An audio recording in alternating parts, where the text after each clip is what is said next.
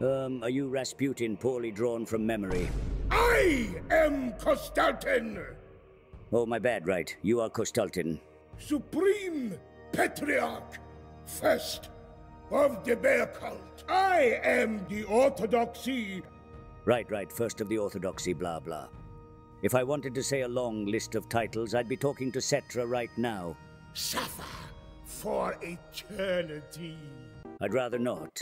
Kostaltyn, I honestly don't even know where to start on what's wrong with you. It's almost like Creative Assembly looked at everything that made Volkmar cool and thought, but what if he was cringe? Kostaltyn, in the Russian version of A Christmas Carol, the ghost of Christmas past, shows Rasputin you to terrify him and force him to change his ways. You're such a sad Rasputin knockoff, I almost feel bad for you. Instead of advising a Russian queen providing mystical healing powers and surviving multiple assassination attempts, you can't even get a single woman from the Ice Court to join your faction. I don't understand why you can't just get along with Katarin. It's not like you have a shortage of enemies nearby.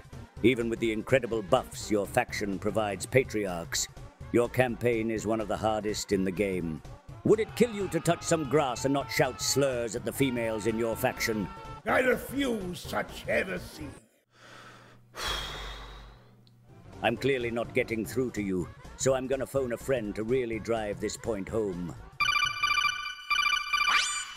Unfortunately for you, however, you are maidenless.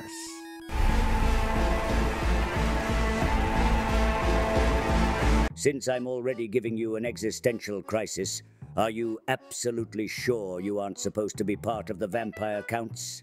You're described multiple times in the lore, and I quote, as having a ghoulish appearance. Blasphemy! And why on earth do you have longer claws than Marathi? Religious fervor is no excuse for you to neglect basic hygiene.